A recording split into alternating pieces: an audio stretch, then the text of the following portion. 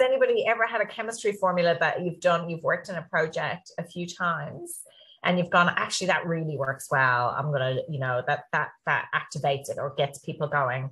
Frith, you've unleashed yourself. Tell us. Um, yeah, we, we use a phrase called do learn do. And we've used it from the very beginning and it's just it's just what you said, lady. It's it's um try something small and if it fails, do it differently next time, or if it works, brilliant, do it a bit bigger. Um, and and as as um as Jill just rightly said, a lot of the job is trying not to get fired. Um, I've been checking the people at this, what can I say without getting fired, sort of thoughts in one's head, but how can we introduce into the council machine an idea of experimentation and, and, a, and a testing and maybe failing, but we're going to learn something in the process. And that mechanism alongside principles like forethought and research and and curation and those sorts of things is working has, has worked for us. And, and but yeah for, for us that works and that you know especially especially when we're thinking about we might build a permanent public space here how can we go in and test it on a temporary basis like you see in Takapuna before we come in with a with a permanent? That that's a little theory that we run